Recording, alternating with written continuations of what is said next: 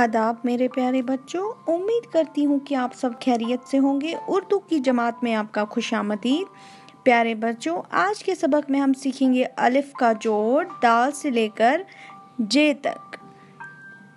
चलिए प्यारे बच्चों, पहले सीखेंगे हम अलिफ का जोड़, दाल के ख़ानदान के साथ। आप सबको पता होगा, दाल के ख़ानदान में तीन हरूफ है। दाल डाल जाल। चलिए देखते हैं इनका जोड़ अलिफ के साथ। दाल जमा अलिफ डा दा। प्यारे बच्चों, यहाँ पे आप गौर कीजिए, इनको हम अलग अलग लिखते हैं, क्योंकि दाल की ऐसे आदि शक्ल नहीं होती है तो हम बिल्कुल दाल लिखेंगे, उसके बाद इसके साथ अलिफ जोड़ देंगे अलग से। दाल अलिफ दा डाल अलिफ डा जाल अलिफ जा। ये है अलिफ का जोड़ दाल के खंदान के साथ। चलिए आगे बढ़ते हैं।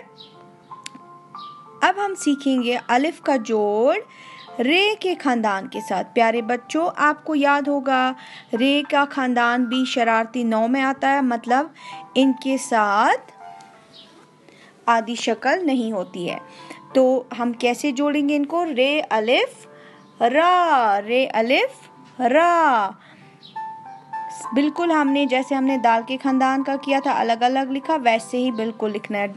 अडे अलिफ डा, जे अलिफ जा, जे अलिफ जा।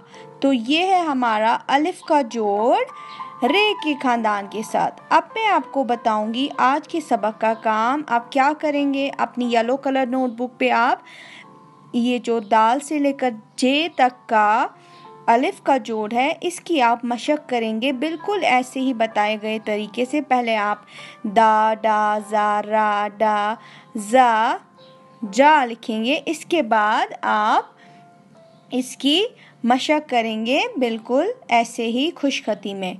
तो ये है हमारा आज का सबक।